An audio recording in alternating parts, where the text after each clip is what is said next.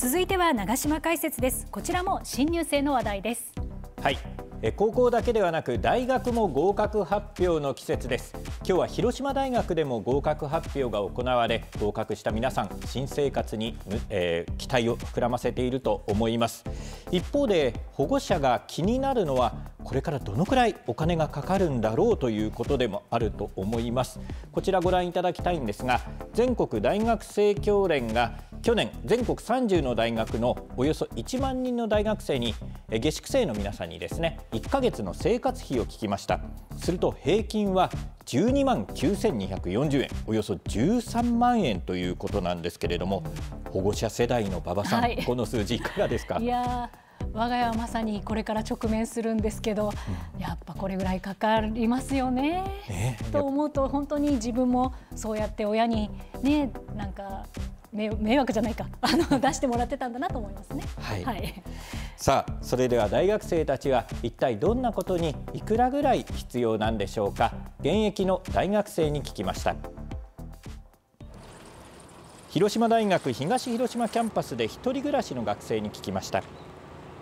仕送りも3万円くらいです。自分奨学金でまあ6万くらいです7万円あってガス代水道代で2万円分けて遊び含めて5万円でやってます。家賃はこれとは別で5万円かかってます。仕送りは10ちょいぐらいです。仕送りが11万ぐらいでバイトが5万円ぐらい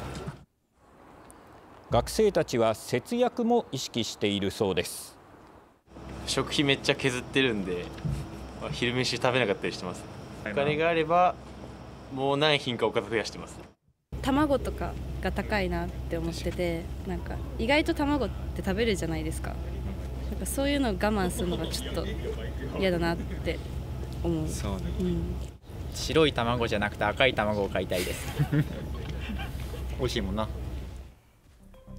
親としては食べ物を送ってあげようかっていうような気持ちにもなりそうなんですが 去年まで学生だった井上さんは大学生の話どんなふうに聞きました？はいあの親元を離れるとやっぱ人って生活するのにこんなにお金がいるんだっていうのを実感しますよね。私もインターネットでスーパーのチラシを見て買い物に行っていたのでお金に向き合ってた時期だなと振り返ってました。確かに社会に出る前にお金について勉強をするという、まあ、貴重な期間で期間であるかもしれないですよね。で大学生の生活費さらに細かくアンケートは聞いています1ヶ月の収入についてまず内訳見てみると仕送りが7万120円そして奨学金が1万9660円。ただこれ奨学金もらってないゼロという人も含めての平均なのでもらっている人だけを見るともう少し数字は大きくなります。でアルバイトが3万6000円余りということで支出は食費が平均2万5000円余り。住居費家賃ですね。5万4000円余り。その他交通費や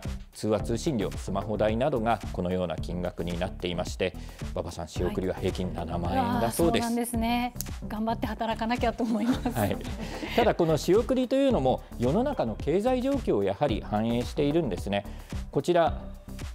過去に遡ってみ見てみますとこの黄緑のグラフ見ていただくと仕送りの平均10万円以上という分布なんですけれどもこれが私や馬場さんが大学生だった1995年は10万円以上の仕送りというのが62.4%あったわけなんです。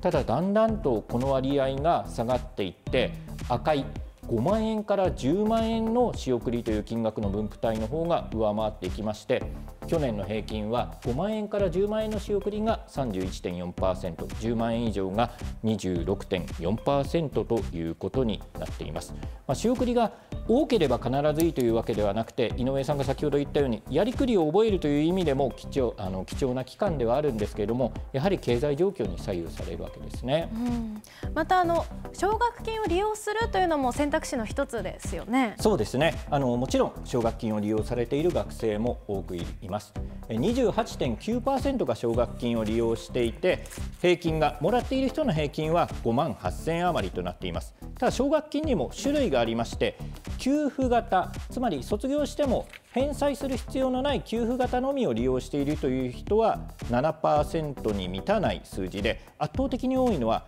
貸与型これ卒業してから返済する奨学金ということになりますこのほかあの給付型と貸与型の両方を利用している人などもいるということなんですね。まあ、親としては卒業後の負担をできるだけ少なくしてあげたいという気持ちはあるんですけれどもやはり仕送りだけで全部カバーするのは難しいという現状も見て取れるわけです。そうですね。私もあの奨学金の返済を考えて奨学金もらうのやめようかみたいなお話も一回親としたことがあるので本当先を見据えながらでも今を充実させたいっていうこの葛藤もありますよね。本当あの親としてはあのね、確かにお金がかかることですけどやっぱりこう充実した大学生活を送って夢に向かって頑張ってほしいしあんまりねお金のこと気にすぎて体調壊されても困るのでそうですね、はい、本当に健康であってほしいです、まあ、せっかくね頑張って入った大学だから、はい、やっぱり充実して過ごしてもらいたいということで、学生生活が充実しているかというアンケートでこれを見てもらうと2020年ずいぶん落ち込んだんです。やはりコロナ禍でなかなか対面で授業が受けられなかったり友達と会えないということで落ち込んでいたんですが去年はまた9割近くまで上がっています、まあ、特に